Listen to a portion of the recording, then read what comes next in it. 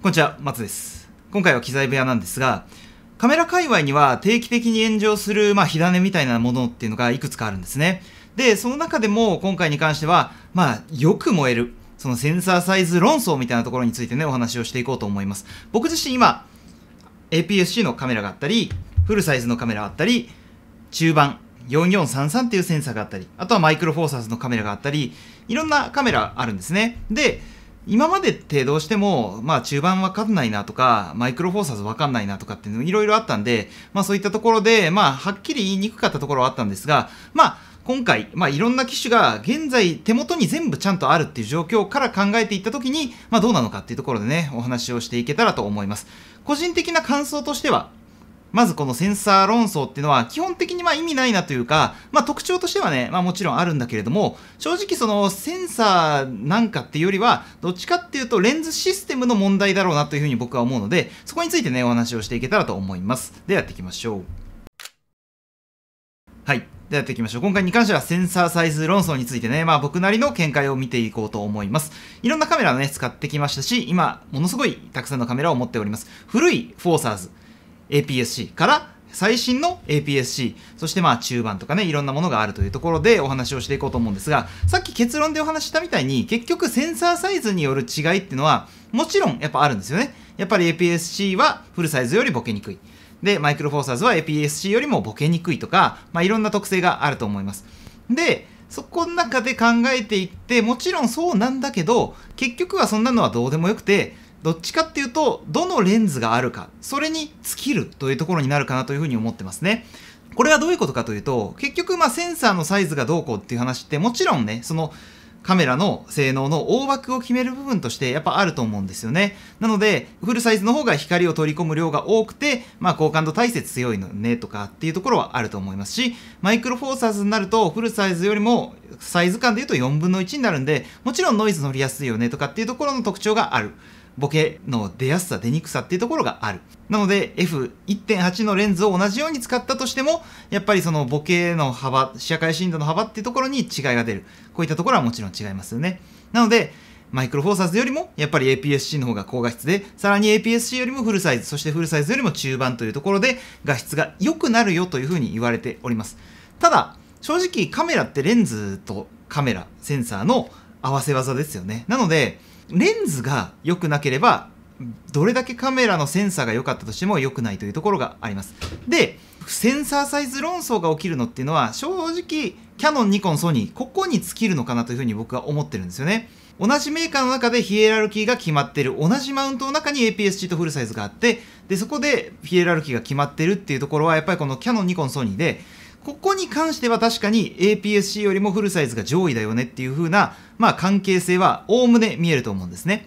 まあもちろん FX30 とか、まあこういった ZV-E10M2 みたいな、ある目的に特化したカメラで言うと、そういったところに当てはまらないものがあると思うんですが、やっぱソニーの中でもフルサイズがまあ上だよねっていう、もう純粋に上っていうね、概念があると思います。なので、そういった意味で APS-C よりもフルサイズが上っていう、なんかその価値観っていうのね、あると思うんですよね。なので、まあ皆さん多くの方がソニー、キャノン、ニコン、この辺りを使ってるから、じゃあ、センサーサイズ論争が起きるんだと僕は思ってます。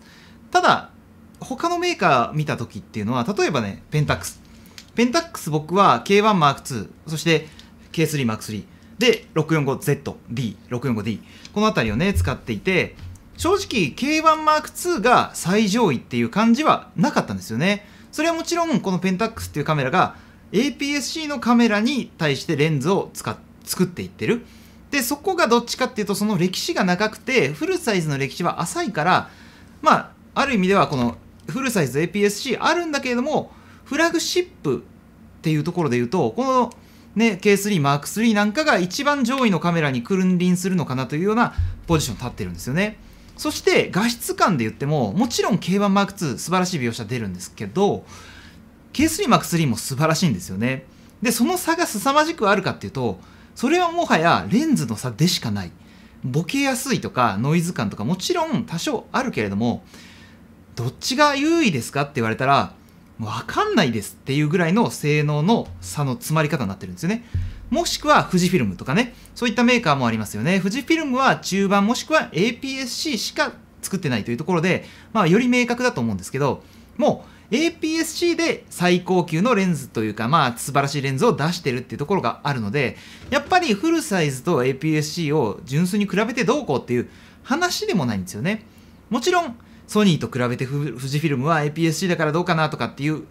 気持ちもね、わかるかなとは思うんだけど、じゃあどれだけその画質的な部分で違うかっていうと、それは性能の差ではなくてどっちかっていうと、絵作りの違いとか、レンズ設計とかそういった部分のそのコンセプトの違いみたいなところになるんで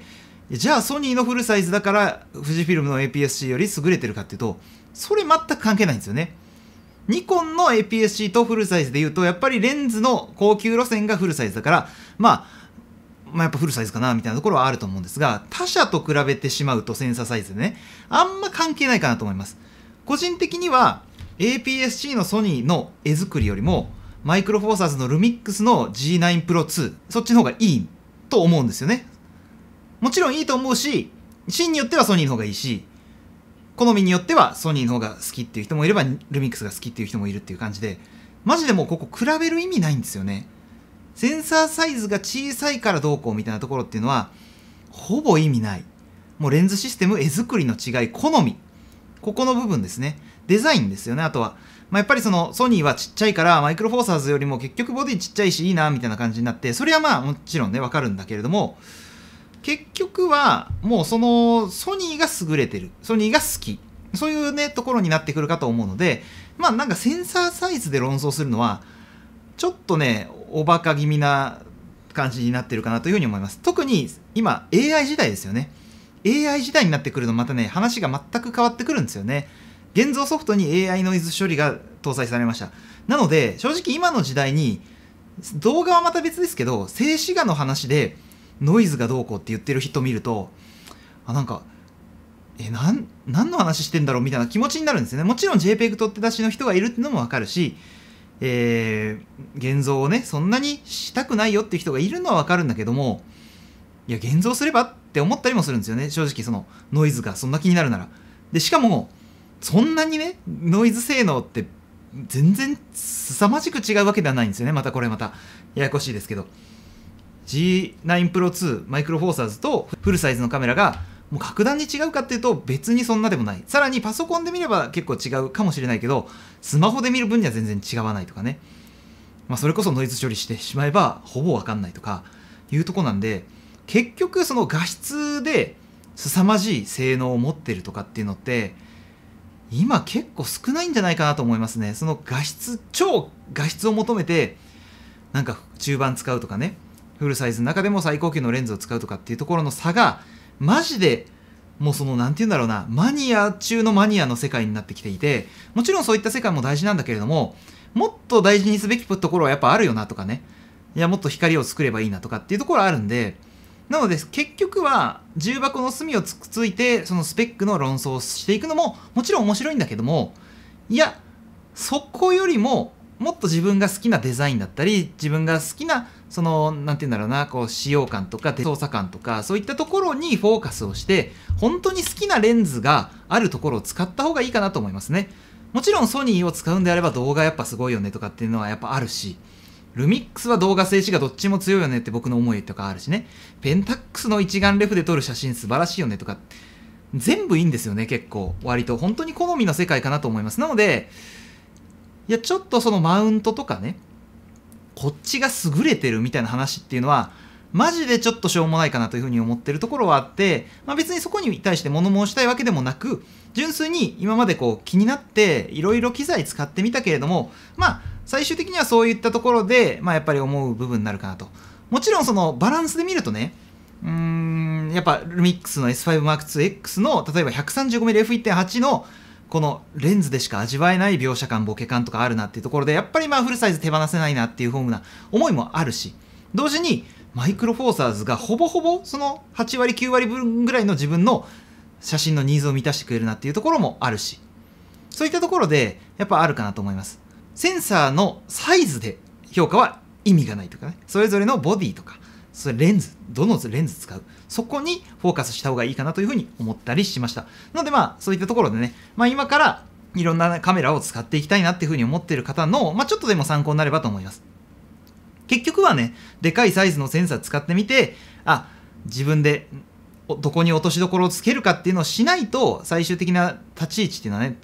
決まりにくいとは思うんだけど、まあ、なんだかんだいろいろ使ってみたら、もうその大した話じゃなかったなっていうところはね、あったりするかなというふうに思うんで、まあ予算感、サイズ感、えー、あとはま画質求めるクオリティ、ここの部分でま判断していただけたらと思います。ということで、今回に関してはこちらで終わります。まあ、これからもカメラ雑談なんか中心にね、この動画やっていこうかなというふうに思うので、今日の動画良かった、面白かったという方は、ぜひグッドボタン、チャンネル登録よろしくお願いします。では、今日これで終わります。よき信頼をお送りください。松でした。